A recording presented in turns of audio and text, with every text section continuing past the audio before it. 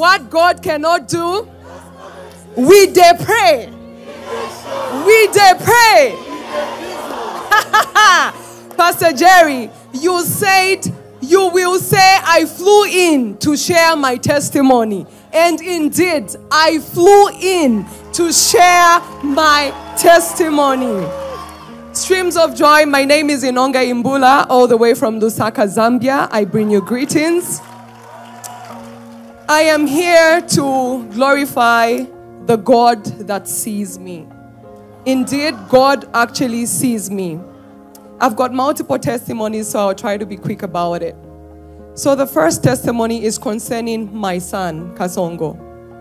Before the age of one, he was able to pronounce like other people's names in the house. But all of the sudden, he just started going like, mm. You talk to him, mm. You say this, mm. He never ever uttered another word. So while on NSPPD, Pastor Jerry released a word to say, There's a child. He was speaking before, but he stopped. And this is three before turning four. I don't know who you are. Your child was talking before. Suddenly, your child stopped talking. Stop talking. For no reason. If you are the one putting on the live stream, by the power that raised Jesus from the dead, I announce, let it be reversed right now. I keyed into that word. So one day, as I was driving with my son, I was playing Pastor Jerry's song then which was miracles, no dey tire Jesus. So it's the first time I was playing it with my son in the car. And I just heard, no dey tire Jesus. To bless a person, no dey tire Jesus. So I looked and I was like, what? I said, because I was him, I was like, when I go home, these people will not believe me. So I left it. I left it. I went home. All of a sudden, he began to talk. The following Sunday, while going to church, I was with my household and I played the song. And he was there. Che! No, the tire Jesus. So, what God cannot do does not exist. My son is speaking. Even yesterday, I was talking to him to the glory of the Father, the God that sees me, the God of Pastor Jerry Eze. He is talking. I am a speaker, trainer, and coach with the John Maxwell team in the USA. So I discovered my gift in 2019. But then I was prepping myself and holding myself. And then I traveled for NSPPD Houston last year. I was there, and just after that, I met a lady uh, from New York, but she's Jamaican. I told her, as I go back, I'm going to make it big.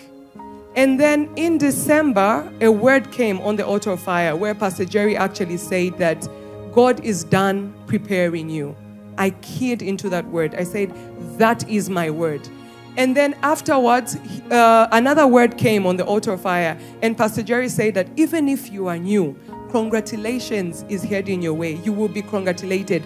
I keyed into that word. And I began to host the Global Empowerment Summit. That was the first summit I was hosting. Lo and behold, it was beautiful.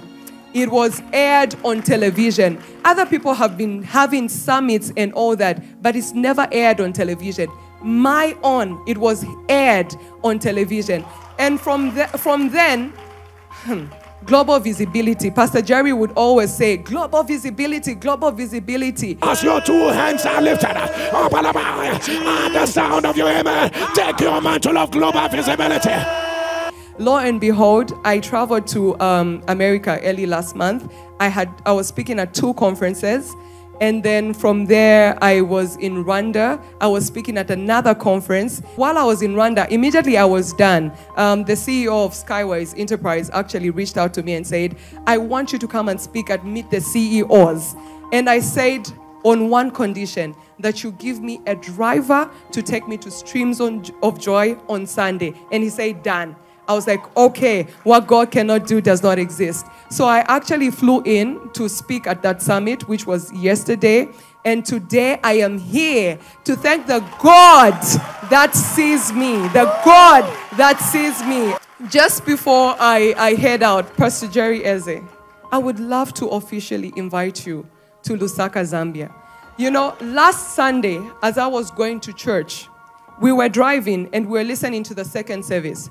As we were passing the gate, the security man that shows you where to park, he was blasting streams of joy. And I said, Is that Pastor Jerry Eze? He said, Yes. And before I left for here on Thursday, I went to the bureau. And when I entered the bureau, they were on NSPPD. They were blasting it. They were blasting it, Pastor Jerry. I actually had to get them to make a video where we say, What God cannot do does not exist. And they were blasting it. So, Pastor Jerry, I would love to officially invite you to Lusaka, Zambia. And I'm here to return all the glory to God for his goodness and his mercy. What God cannot do does not exist.